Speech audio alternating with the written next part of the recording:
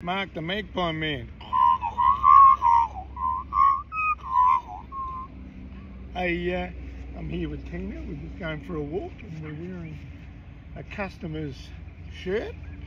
And I'll publish this on video soon.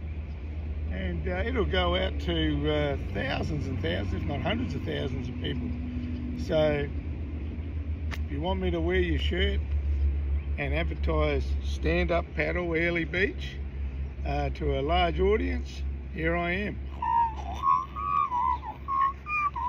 There you go.